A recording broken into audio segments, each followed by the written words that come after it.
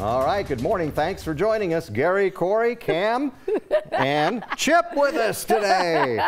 It's the Rocky Mountain Showdown tonight. CU in CSU, right. Mile High Stadium at 8 o'clock. It's over quiet now over there, but uh, it's going to be rocking tonight. Boy, is that true. So now, yep. yes, all our focus is on the Rocky Mountain Showdown. Eddie Randall live at the stadium for the final one. This is the final one in Denver anyway. You have a big for a head. while.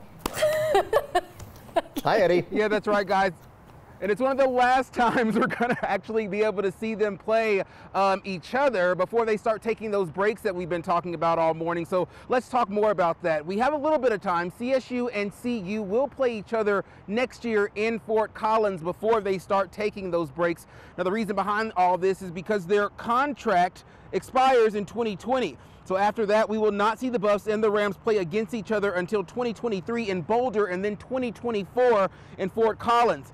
Another reason a lot of people are upset about all this is that the game is being played tonight on Friday, so a lot of people are going to have to choose between going to see their loved ones play in the high school Friday night football games or coming out here to Mile High Stadium for the Rocky Mountain Showdown.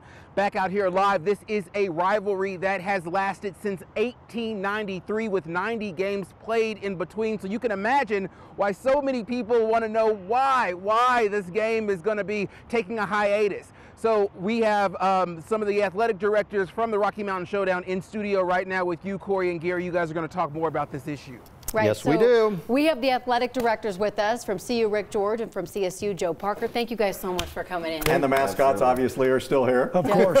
Distracting. Right. I, think they, I, think they, get along. I think they get along. do the job. Yeah. All right, so a lot has been made. This is the last Rocky Mountain Showdown in Denver. So why give it up? What, what's going on there? Uh, we're not giving it up, but uh, we, we played the last 10 years in Denver, right. and we're just ready to bring it back to campus. So this next year will be in Fort Collins. Yeah, 2020 will be played at Canvas Stadium. And then? 23, 24, we start back up in Boulder in 23. Okay, yeah. so a couple years off. Yep and then we start back up. Okay. Okay. So a lot of people have been asking us anyway. So you have all these in-state rivalries around the country. You know, Alabama, Auburn, maybe the most famous, Michigan, Michigan State, stuff like that. Why don't Colorado, Colorado State do that and do that every year? Uh, we'd love to. well, we just thought it'd be you good. You guys could make it happen. We just thought it'd be good to take a break, and uh, we'll get back and have that game. But we love playing on the front, front range. We've got Air Force in our schedule as well, and we play them in two weeks. So, uh, you know, we're trying to keep those games going as well. I mean, the Rocky Mountain Showdown is such a big deal for the schools, for the fans, for the students. I mean, tonight's a big night it is a big night, you know, and it's eight o'clock, so you got to pace yourself. Right. You know? the, the there is that. You got, yeah, got to pace yourself, but uh, you know, and, and, it's about being civil. You know, I mean, rivalries are great, but it's a game, it's a sport. Uh, you know, we ought to be respectful of uh, each side of the ball, and uh, you know, I think that's a message Joe and I both share in always, that. Yeah. We were uh, joking a little bit over there earlier, but we did say that you know the all-time record really favors the Buffs. It's 88, 22, and two, I believe.